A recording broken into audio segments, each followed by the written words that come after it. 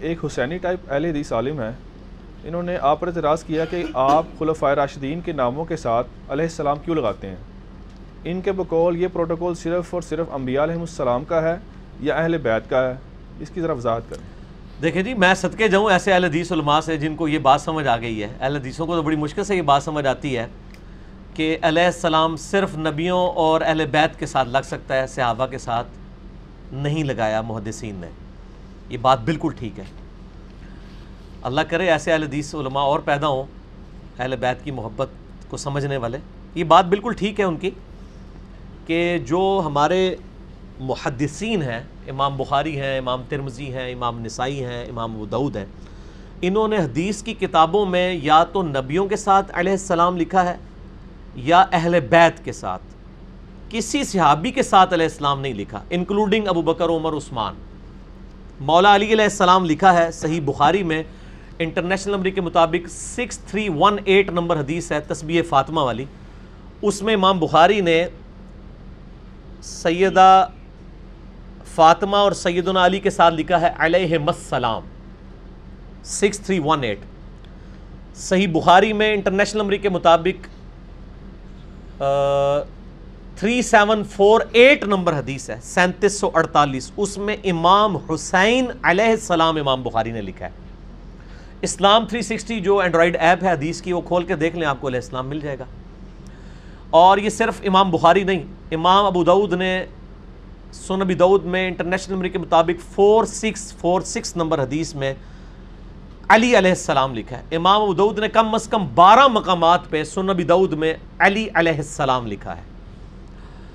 اور صرف امام بخاری اور ابو دعود نہیں، امام ترمزی نے مولا حسن حسین کے اوپر جو چیپٹر باندھا ہے جامعہ ترمزی میں، اس میں لکھا ہے، فضائل حسن اور حسین علیہ السلام۔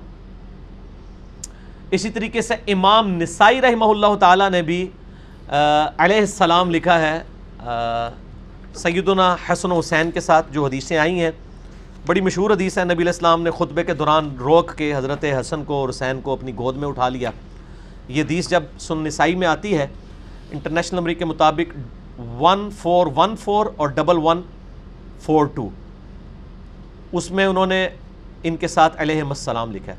تو امام بخاری نے، امام ابو دعود نے، امام ترمزی نے اور امام نسائی نے، اس کے علاوہ بھی امام حاکم نے، امام بئی نے سارے اہل سنت کے آئمہ نے اہل بیت کے ساتھ علیہ السلام علیہ السلام لکھا ہے۔ تو یہ اہل بیت کے ساتھ علیہ السلام واقعی لکھا گیا ہے۔ صحابہ اکرام علی مردوان کے ساتھ مجھے ابھی تک علیہ السلام کہیں بھی نہیں ملا۔ اور رضی اللہ عنہ ہی لکھا جاتا ہے، یا بغیر اس کے پروٹوکول کے لکھا جاتا ہے۔ میں جو ہوں وہ اجتہاداً حضرت ابو بکر اور عمر اور عثمان کے ساتھ علیہ السلام استعمال کرتا ہوں۔ میں نے کبھی یہ دعویٰ نہیں کیا کہ محدثین کی سنت ہے۔ لہذا جو اہل حدیث عالم کا سوال ہے وہ بالکل ٹھیک ہے کہ میرا ذاتی اجتہاد ہے اور میرا اجتہاد اس لیے ہے کہ ہم نماز میں پڑھتے ہیں، السلام علینا وعلا عباد اللہ الصالحین۔ بخاری اور مسلم میں حدیث ہے، جب تم نماز میں پڑھو گے السلام علینا وعلا عباد اللہ الصالحین، تو اللہ تعالیٰ زمین و آسمان میں جتنے نیک بندے ہیں، ان تک تمہارا سلام پہنچا دے گا۔ تو ظاہر نیک بندوں میں انبیاء بھی آتے ہیں، صحابہ بھی، اہل بیت بھی۔ پھر جب ہم عام قبرستان میں جاتے ہیں تو کیا پڑھتے ہیں؟ السلام علیکم اہل الدیار من المؤمنین والمسلمین، جو صحیح مسلم میں حدیث ہے۔ ایس قبرستان کے رہنے والے مومنین اور مسلمین، تم پر سلام ہو، ہم بھی مر کے تمہارے پاس آنے والے ہیں۔ تو ان پہ سلام، عام مردے پہ بھی ہم سلام بھیجتے ہیں۔ ہم جب ایک دوسرے کو ملتے ہیں تو کیا کہتے ہیں؟ السلام علیکم۔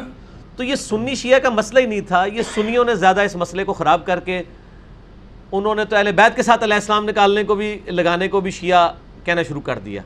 اب ہماری دعوت کی برکت یہ ہوگی ہے کہ سنی ہمیں سمجھا رہے ہیں کہ آپ صرف اہل بیت کے ساتھ لگایا کریں وہ بکر عمر کے ساتھ نہ لگایا کریں۔ تو سر دیکھیں نا، علم تو سر چڑھ کے بولتا ہے نا پھر۔ علم کی تلوار سے تو پھر سارے لوگ کٹ جاتے ہیں نا۔ تو خوشائن بات ہے، ہمیں اس سوال سے کوئی غم نہیں ہوا۔ ہم پہ جو اعتراض کیا ہے بالکل جینون اعتراض ہے، میرا اجتہاد ہے۔ تو یہ میں نے سارے دلائل رکھے ان کی بنیاد پہ۔ پھر ہم جب قبر رسول پہ جاتے ہیں، صلی اللہ علیہ وآلہ وسلم، صحیح صنعت کے ساتھ المصنف ابن ابی شہبہ میں double double one seven nine three number اثر ہے کہ عبداللہ بن عمر جب بھی قبر رسول پہ حاضر ہوتے، اور یہ روایت المصنف ابن ابی شہبہ میں بھی ہے سن القبرہ البئی حکی میں بھی ہے الموتا امام مالک میں بھی ہے، فضل الصلاۃ علی نبی میں یہ ہے کہ نبی صلی اللہ علیہ وآلہ وسلم کی قبر مبارک پہ عرض کرتے، السلام علیکہ یا رسول اللہ۔ پھر حضرت ابو بکر کے سامنے آ کے، السلام علیکہ یا ابا بکر۔ رضی اللہ عنہ ہو یا ابا بکر نہیں، السلام علیکہ یا۔ تو میں اگر ابو بکر علیہ السلام کہتا ہوں تو جائز ہے۔ اور پھر حضرت عمر کے پاس آ کے السلام علیکہ، یا عمر یا السلام علیکہ یا ابدا۔ تو یہ سنی شیعہ کا اختلاف خام خواہ بنا دیا علماء نے۔ میرا یوٹیوب پہ آلریڈی بھی ایک کلپ ہے، علیہ السلام پہ سنی شیعہ اختلاف۔ تو لگایا جا سکتا ہے، آپ صحابہ کیا، تابعین تبا، تاب، امام بخاری کے ساتھ آپ بے شک علیہ السلام لگائیں۔ دعا ہے نا ان کے لیے۔ اللہ کی سلامتی ہو ان پہ۔ اور رضی اللہ عنہ بھی آپ کسی کو کہہ سکتے ہیں۔ قرآن میں تو آیا نا رضی اللہ عنہم و اللہ ان سے راضی، وہ اللہ سے راضی، ذالک لمن خشی ربا، یہ ہر اس شخص کے لیے جو اپنے رب سے ڈرے۔ بلکہ ہر مومن کی موت کے وقت اسے رضی اللہ عنہ کہا جاتا ہے۔ یا ایتہ النفس المطمئنہ، ارجعی الى ربک راضیتا مرضیہ فدخلی فی عبادی ودخلی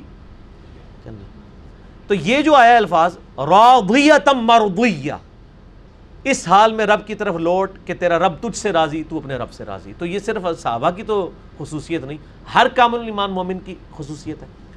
رضی اللہ عنہ بھی کہہ سکتے ہیں، رحمہ اللہ بھی کہہ سکتے ہیں، علیہ السلام بھی کہہ سکتے ہیں۔ بالکل جائز ہے۔ اور امہات المومنین کے ساتھ سلام اللہ علیہ کہا جا سکتا ہے۔ اگرچہ امام بخاری نے صرف حضرت فاطمہ کے ساتھ علیہ السلام لکھا ہے اور کسی کے ساتھ نہیں لکھا، سیدہ عائشہ کے ساتھ نہیں لکھا، اور کسی بیوی کے ساتھ نہیں لکھا، حضور کی بیٹی کے ساتھ ہی لکھا ہے۔ لیکن اجتہادن یہ جائز ہے۔ تو آپ آپ یہ اندازہ کر لیں کہ سنی علماء اور پبلک کتنی یعنی فیک گراؤنڈز کے اوپر کھڑے تھے۔ یہ تو کہہ رہے تھے آپ حسین کو علیہ السلام کیوں کہہ رہے ہیں؟ ان کو پتہ ہی نہیں تھا کہ بخاری میں حسین علیہ السلام ہے۔ تو الٹا اب ماشاءاللہ یہ حالت ہو گئی ہے کہ ہمیں اہل حدیث علماء یہ بات کہہ رہے ہیں کہ آپ صرف اہل بیت کو علیہ السلام کہا کریں، باقیوں کو نہ کہا کریں۔ تبدیلی آ گئی ہے۔ ٹھیک ہے؟ نام ہے وابی نام ہے بابی دیکھیں نا بابوں سے کیسے توڑا ہے۔ تو اللہ کا فضل ہے۔ اللہ تعالیٰ اپنے بندے اٹھاتا ہے۔ جو لوگ سچائی لوگوں کو بتاتے ہیں، جس جس لیول کے اوپر بےمانیاں ہوئی ہیں، الحمدللہ ہم نے ہائی لائٹ کی ہیں۔ میرے بھائی، آج ہماری دعوت کیوں پھیل گئی ہے؟ لوگوں کی تنظیمیں ہیں، فرقے ہیں، پارٹی ہیں۔ پچاس پچاس سال سے تقریریں کر رہے ہیں، ان کے سبسکرائبر ایک ڈیڑھ لاکھ ہوتے ہیں۔ ہمارے ایک سال کے اندر دو لاکھ پلس ہوئے ہیں ماشاء اللہ اب تین لاکھ کے قریب پہنچ چکے ہیں۔ جبکہ ہر فرقہ کہہ رہا ہے علی کو نہیں سننا۔ لیکن جو سنتا ہو کہنا علی نہیں سننا اور کسی نے نہیں سننا۔ آیتیں ہو گئی علی علی، ٹھیک ہے نا؟ وہ اسی لیے ہوگی سچائی کی وجہ سے۔ اور الحمدللہ نہ ہم نے چندہ بک بنائی، نہ فرقہ لانچ کیا، نہ کسی سے کوئی چیز مانگی، نہ کوئی مسجد ادا کی۔ انہی کے پیچھے نمازیں پڑھتے ہیں، انہی کی گالیاں بھی کھاتے ہیں جمعے کے خطبوں میں۔ ان کے پیچھے نمازیں بھی پڑھتے ہیں۔ کیونکہ حسین کے ماننے والے ہیں نا، مولا حسن حسین مروان کے پیچھے نمازیں پڑھتے تھے جبکہ وہ حضرت علی پہ ممبر پہ لانت کر رہا ہوتا تھا۔ تو لوگ کہتے تھے کہ آپ باپ پہ لانت ہو رہی ہے، وہ کہتے تھے بس حکمرانوں کے پیچھے نماز پڑھنی ہے، یہ نبی کا حکم ہے، بس، باقی اس کے مال اس کے ساتھ۔ سر تو پھر آج بھی حسینیوں میں اتنا ہی حوصلہ ہے۔ اور مجھے عثمان کہتا ہے نا، یار یہ تو یہ کہتے ہیں، آپ کیوں نمازیں پڑھتے ہو؟ میں کیا حسین دے مرنے والے، حسین دے پیو نو گالاں کڑیاں آلے امیہ نے وہ پیچھے نمازاں پڑھتے سن۔ آج کوئی یزید نو رحمت اللہ علیہ کہہ کے حسین نو باغی کہندا ہے سانو تے چھریاں چل دیاں نے، لیکن نمازاں نہ پیچھے پڑھاں گے۔ نماز تو اللہ اور بندے کا تعلق ہے، وہ تو ہر بندے کے پیچھے ہو جاتا ہے۔ صحیح بخاری میں سکس نائنٹی فائیو نمبر حدیث ہے۔ حضرت عثمان کو جو لوگ شہید کرنے کے لیے آئے تھے باغی، صحیح بخاری میں اس حدیث پہ امام بخاری نے باپ باندھا ہے کہ بدتی اور باغی کے پیچھے نماز درست ہے۔ تو صحابہ نے پوچھا کہ امیر المومنین مسجد پہ باغیوں کا قبضہ ہے اور ہمارے امام آپ ہیں، نماز ہم ان کے پیچھے پڑھیں یا گھر میں پڑھ لیں؟ انہوں نے کہا نہیں، نماز ان کے پیچھے پڑھو۔ نماز ہی تو نیکی کا ایک ایسا کام ہے، اس میں مسلمانوں سے الگ نہ ہو۔ تو حضرت عثمان نے اپنے مخالفین کو مسلمان کہا۔ لیکن انڈیا، پاکستان، بنگلہ دیش اور صدیوں سے مولویوں نے پٹی پڑھائی۔ کوئی عبداللہ بن صبا تھا جی وہ یہودی تھا۔ حضرت عثمان کیا کریں یہودیوں کے پیچھے نماز پڑھو۔ انہوں نے آل امیہ کی بدماشیوں کو بچانے کے لیے ایک جھوٹا کریکٹر گھڑا۔ عبداللہ بن صبا حضرت علی کے زمانے میں آیا ہے، اس کو مولا علی نے قتل کروایا ہے۔ عثمان کی شہادت میں رضی اللہ تعالیٰ علیہ السلام، اس کا کوئی دخل نہیں ہے۔ حضرت عثمان سے اختلاف صحابہ کا ہو گیا تھا۔ اور بیسیکلی اصحاب بدر میں ایسے لوگ شامل ہیں۔ خود سیدہ عائشہ اور عمار بن یاسر حضرت عثمان کی پالیسیز کے خلاف ہو گئے تھے۔ اس کی وجہ سے ایک مہم کھڑی ہوئی تھی۔ وہ کوئی سبائی پارٹی نہیں تھی۔ ورنہ حضرت عثمان کہتے ہیں ان کے پیچھے نمازیں پڑھو، اگر وہ سبائی ہوتے۔ ٹھیک ہوگا جی؟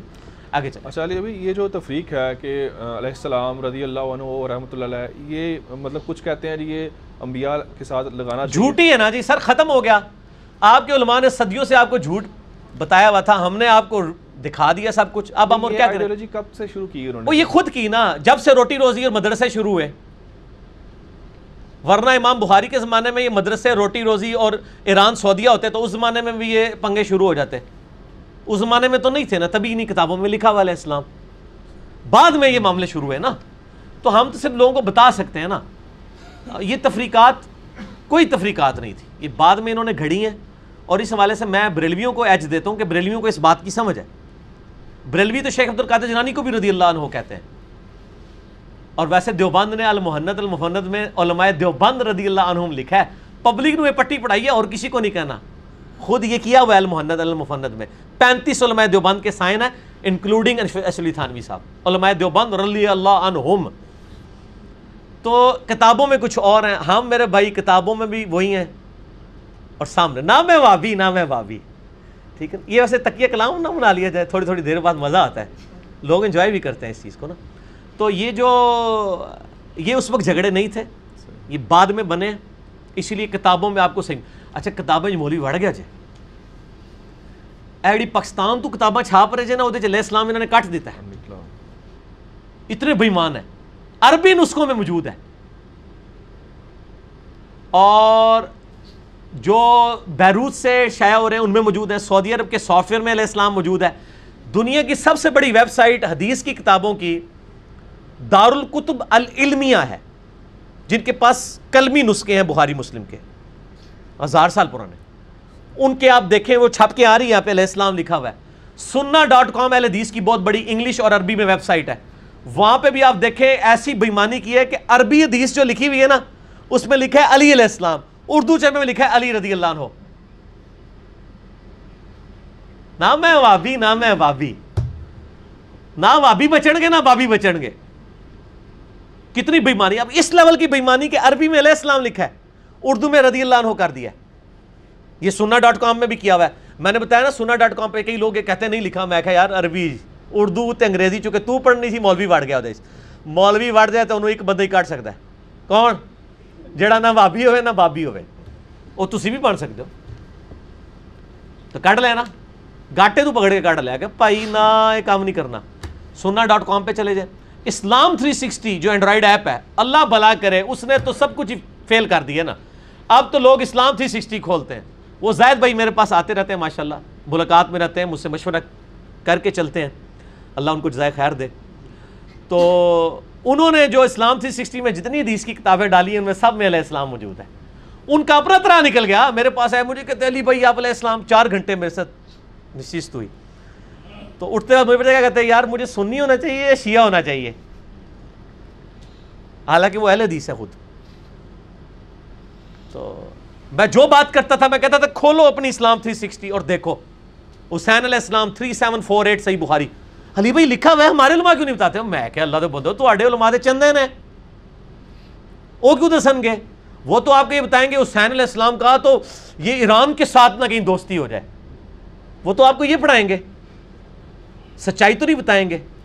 اور آپ کو پتہ ہے، علماء یہود کا کردار ہمارے علماء نے بھی ادا کیا ہے۔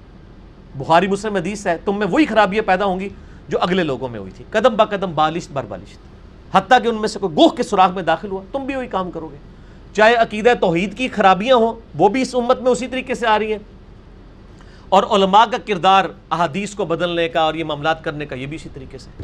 لیکن ظاہر اللہ نے اپنا دین تو بچانا ہے نا، اس کے لیے بندے اٹھانے ہیں۔ وہ تو اللہ نے صورت المائدہ میں کہا ہے، صحابہ کو کہہ دیا کہ اگر تم دین کا کام نہیں کرو گے، اللہ تمہیں ختم کر کے نئی قوم اٹھائے گا، وہ کسی ملامت کرنے والے کی ملامت کی پرواہ نہیں کریں گے۔ تو سر، انجینئر محمد علی مرزا صاحب نے کسی کی ملامت کی پرواہ نہیں کی ہے۔ سنی ہو کے سچائی بیان کی ہے۔ ٹھیک ہے نا؟ تو ملامت کرنے والے کی پرواہ نہیں کریں گے۔ اللہ تعالیٰ سے بندے اٹھائے گا انشاءاللہ۔